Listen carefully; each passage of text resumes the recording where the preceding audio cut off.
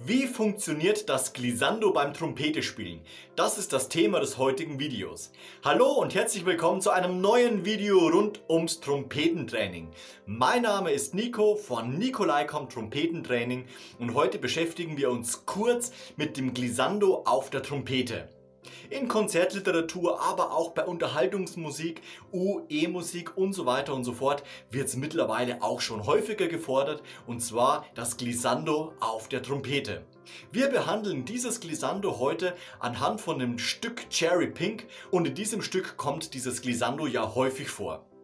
Wenn man bei Auftritten unterwegs ist oder es auch selber spielen musste und sich dem Glissando annähert, heißt es immer, diese Stelle am besten mit halben Ventilen spielen. Das ist absolut richtig, aber heute zeige ich euch, wie ihr nicht nur mit den halben Ventilen das Ganze spielt und dann nur der verstopfte Klang der Trompete zustande kommt, sondern wie die Töne sich auch richtig nach unten durchbiegen und auch wieder nach oben durchkommen, damit man eben diesen Effekt bravourös aufführen kann.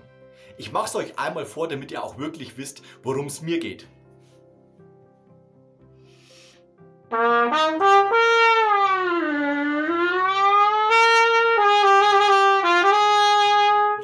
denke, ihr kennt dieses Stück. Beziehungsweise ihr wisst, welchen Effekt ich meine. Dieses Durchbiegen, in dem Fall jetzt von dem C2 nach unten und eben wieder zurück, sollte auch natürlich sauber gespielt werden, aber auch intensiv. Das heißt, dass der Klang, wenn möglich, immer da ist und das Publikum beziehungsweise man selbst und auch die Mitmusiker ganz genau merken und spüren, und natürlich hören, was da gerade eben passiert und wann das Orchester, die Band wieder mit einsteigen kann und dementsprechend den Solisten begleiten kann. Wie funktioniert denn nun dieses Glissando? Ihr habt es gerade eben schon gesehen, wie ich kurz diesen Anfang von dieser Solostelle von Cherry Pink angefangen habe zu spielen mit halben Ventilen. Das heißt, ich bewege meine Finger nach unten mit den Ventilen. Auf halbem Wege ist aber das Ganze dann schon erreicht und es geht wieder nach oben zurück. Wenn das alles wäre, dann würde sich das so anhören.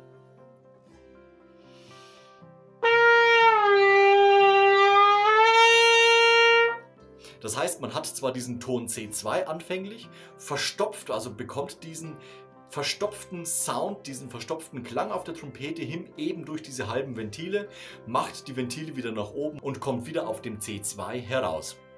Das Ganze hat aber noch einen zweiten Faktor, der berücksichtigt werden muss, und zwar dieses Durchbiegen der Töne. Ich verlinke euch hier oben in der Infoleiste gerade mal das Video zum Tönebiegen. Da sind wir genau drauf eingegangen. Für dieses Video zeige ich euch das Ganze mal anhand von den Tönen C2 auf G2 nach unten gebogen. Ohne die halben Ventile, sondern nur mit den Lippen nach unten im Glissando durchgezogen.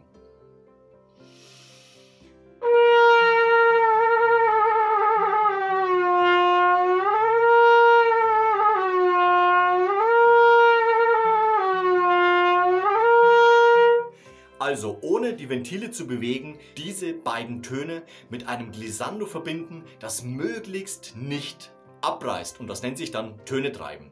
Bei diesem Glissando, wie wir es gerade eben bei diesem Stück zu benutzen haben, geht es eben darum, dass wir die halben Ventile aber auch dieses Töne nach unten treiben kombinieren.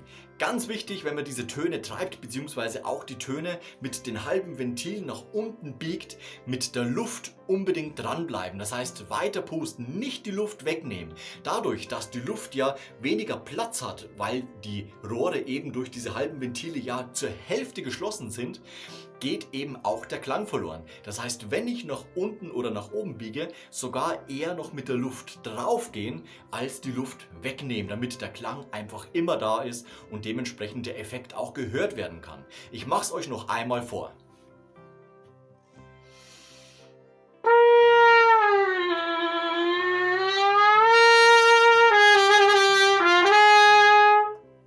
Wenn ihr die Ventile nach unten drückt, aber nicht wirklich bis zur Hälfte kommt, dann habt ihr folgenden Effekt. Hört mal hin.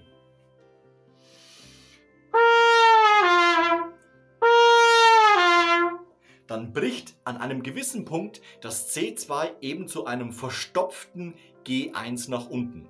Das heißt, ich muss die Ventile etwas weiter nach unten drücken, damit ich diesen verstopften Effekt eben gut hinbekomme und der Ton eben nicht nach unten wegbricht. Ich mache es noch einmal vor, wie sich's gehört.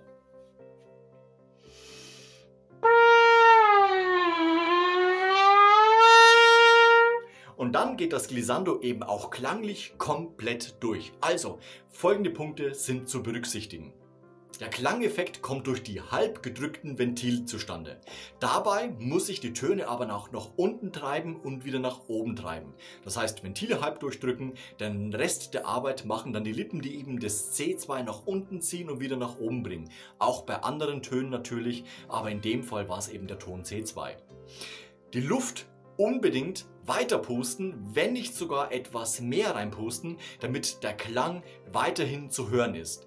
Oft ist es so, dass man die Luft wegnimmt, der Klang verschwindet und dann ist der Effekt zwar gespielt, aber keiner hat ihn gehört. Also unbedingt aktiv mit der Luft diesen Klangeffekt führen. Wenn ihr jetzt das Ganze üben möchtet, empfehle ich euch unbedingt das Töne treiben. Wie gesagt, das Video habe ich euch oben gerade eben verlinkt. Ihr könnt aber auch noch meine Suchleiste danach gucken. Töne treiben beim Trompete spielen. Aber auch ausprobieren, wie es klingt, wenn ich die Trompete mit halb geschlossenen Ventilen spiele und das auch wieder nach oben bringe. Das heißt, ihr sucht euch bequeme Töne, C2, G1, je nachdem, was ihr spielt und probiert einfach mal ein bisschen rum.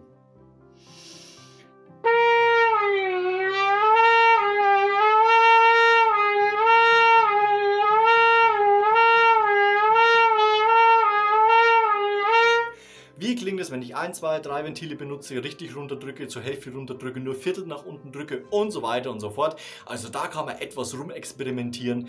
Es kommt vor allem darauf an, dass man eben die Luft weiter fließen lässt. Wenn ihr ein gutes Gefühl dafür entwickelt habt, dann probiert es ruhig mal die Töne nach unten zu ziehen. Ihr könnt euch auch ein Stimmgerät hinstellen, damit ihr merkt, dass es wirklich nach unten geht oder auch wieder nach oben. Aber ich denke, wer mit offenem Ohr Trompete spielt, der hört das trotzdem auch ohne Stimmgerät sehr gut. Ich hoffe, ich konnte euch mit diesem Video einen Schritt näher an das Glissando-Spiel bei der Trompete bringen. Wenn ihr Fragen habt, dann meldet euch jederzeit. Meine Kontaktdaten findet ihr unten in der Videobeschreibung. Jetzt wünsche ich euch viel Erfolg beim Üben eures Trompetenspiels. Wir sehen uns nächste Woche zu einem neuen Video rund ums Trompetentraining. Lasst am Ende noch ein Like und ein Abo da, das freut mich immer ungemein. Wir sehen uns nächste Woche, wie gesagt. Bis dahin und ciao!